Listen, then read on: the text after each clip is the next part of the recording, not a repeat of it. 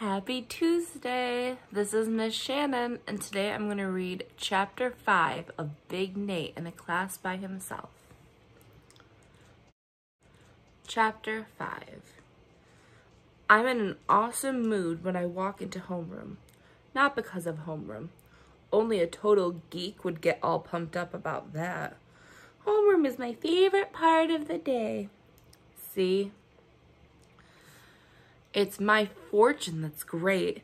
It looked like today was going to stink out loud, and now everything's completely turned around. What are you so happy about? Francis asked. I just got some amazing news, I tell him. Have you ever heard me say I'm destined for greatness?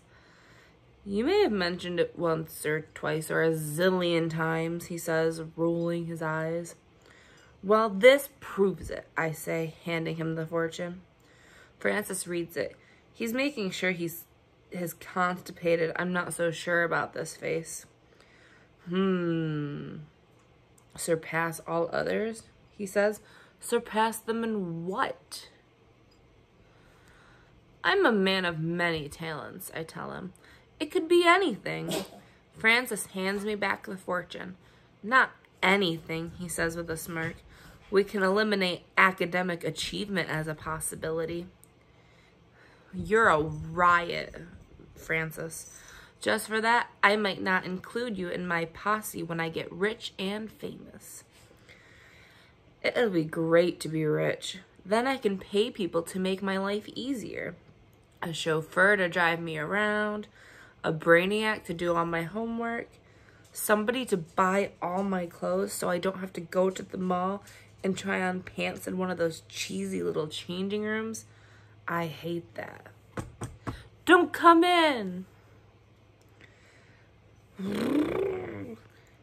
And I'll get a chef. Somebody to cook all kinds of good stuff. I'm starving right now. All I've got in my stomach is a couple of spoonfuls of lumpy oatmeal. Hmm, I guess I could eat this fortune cookie. It's better than nothing. Munch, munch, munch, munch. Mrs. Godfrey Nate's eating something. Gina. Oh, how I hate her. Is this true, Nate? Mrs. Godfrey's voice cuts right through me as she heaves herself up from her chair. Uh-oh. If Mrs. Godfrey catches you eating in class, it's an automatic detention pretty bogus considering she keeps a stash of peanut butter cups in her desk. Don't ask me how I know that. I have my ways. Yikes. She's moving fast. Come on, chew. Swallow now. Phew, just in time. I choke down the last few crumbs half a second before she steams up to my desk. Gulp. Open your mouth. Ah. Uh, hmm, she says, looking long and hard. I don't see anything. You must have been mistaken, Gina. Tough toenails, Gina. What? Ha, Gina's speechless. Her little plan to land me in trouble didn't work. How sweet is that? Attention, please, for this morning's announcements. Oh boy, announcements. The excitement never stops around here. Students interested in joining the math team should see Mr. Staples. Yes, because I just don't have enough math in my life. Today's lunch is beef stew, green beans, cornbread, and fruit cup. And all four of them taste exactly alike. If you visit the library today, wish Mrs. Hickson a happy birthday. She's 39 in dog years. Thank you and have a great day. That's it. Homeroom's over. So why am I still sitting here? Because homeroom with Mrs. Godfrey is followed by first period social studies with Mrs. Godfrey. What a brutal way to start the day.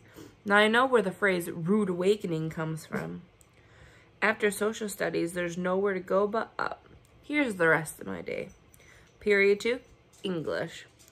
Miss Clark is okay, but shouldn't someone who teaches English actually make sense once in a while. For a non-restrictive clause or phrase, but not for independent clauses joined by coordinating conjunctions. Say what? Period 3. Art. This is my favorite class. Mr. Rosa is so burned out, he doesn't even bother with lessons plans. Now that's teaching. Here's some clay. Have fun. Period 4. Lunch. You, you eat as quick as you can, then you spend the rest of the time checking out girls and throwing carrot sticks at Brad Macklin. Stop it, you ruffians! Period 5. Gym. When you're playing floor hockey or dodgeball, it's awesome. When you're doing rhythmic gymnastics, you pray that nobody's around taking yearbook pictures. Period 6. Math. Here's a multiple choice question. Is math A. Totally boring, B. Completely clueless, C. A great place to grab an afternoon nap, D. All of the above? The correct answer, of course, is D, which was also my grade on the last test.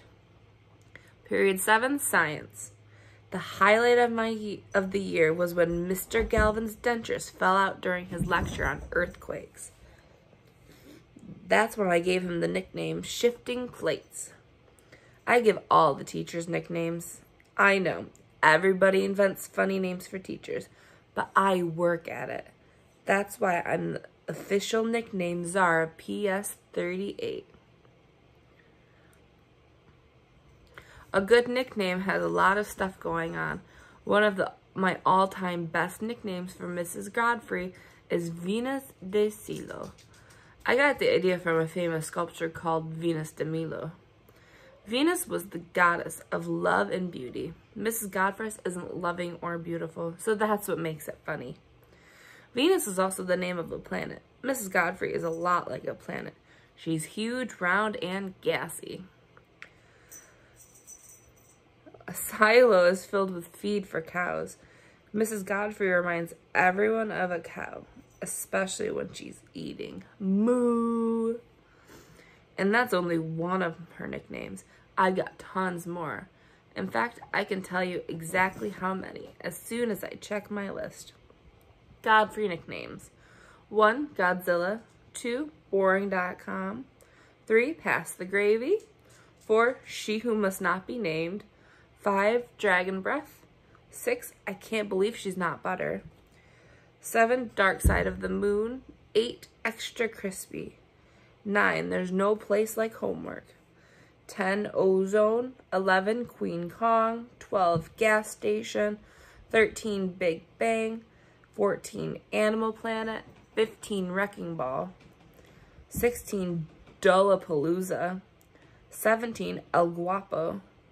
18. Pardon My Nachos. 19. Jaws. 20 Venus de Silo. 20 nicknames and counting. Not too shabby. I'll take that. Yikes. Busted. She looks at the list for a long time. Her face turns red, then white. I can see her jaw muscles working. I wait for her to start shouting, but for the longest time she doesn't say a word. She just looks at me. That's worse than shouting. Finally, she speaks. Very impressive. She crumples up my list, then she opens her desk drawer and pulls out a pad. I've never seen that pad before. she writes something down, then hands, the, hands me the slip. I notice a tiny smile at the corner of her mouth, but the rest of her looks mean. Take this to Mrs. Czerwicki at the, at the end of the day, she tells me.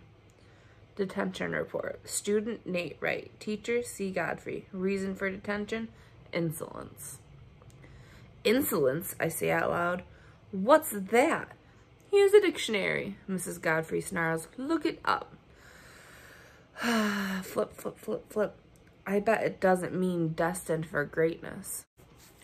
And that is the end of chapter 5. I will see you tomorrow with chapter 6. Have a great day. Bye.